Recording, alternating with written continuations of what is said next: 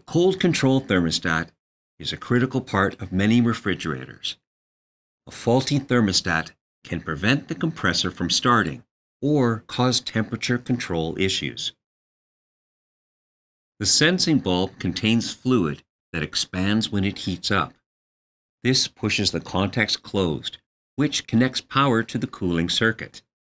When it cools, the contacts open and the compressor shuts off. When the dial is turned to a colder setting, it moves one of the contacts closer.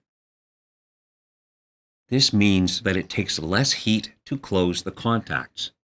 In this case, the compressor runs more frequently, which lowers the fridge temperature.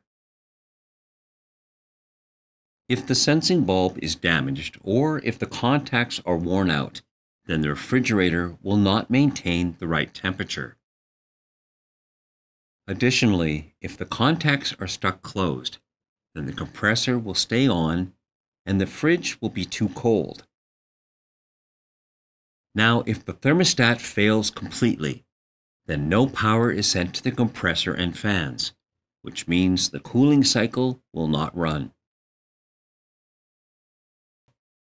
Using a multimeter, components can be tested for continuity. A continuity test will determine if there's a continuous path for electricity to flow through. Without continuity, the component will not work and will need to be replaced. Set the multimeter to the ohms or resistance setting.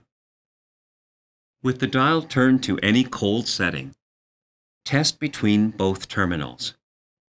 You should get a continuity reading between 0 and 1 ohm at room temperature. You can test to see if the contacts are stuck closed. Set the thermostat to the warmest setting and place it in a working freezer. After 30 minutes, remove it and test. There should be no continuity and no reading on the multimeter.